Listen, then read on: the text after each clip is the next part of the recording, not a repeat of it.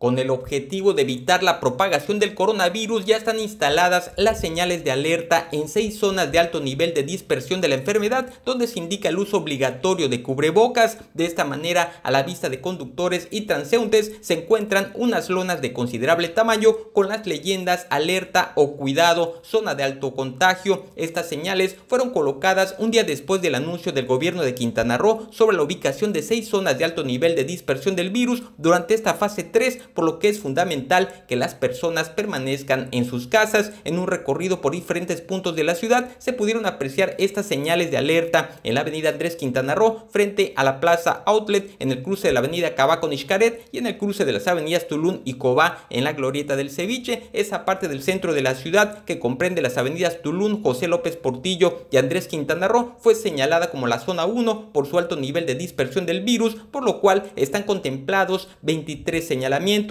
en Quintana Roo. El reporte de la Secretaría de Salud Estatal de este jueves indica que hay 994 casos positivos de coronavirus, hay 182 casos en estudio, han fallecido 167 personas y hubo 991 casos negativos.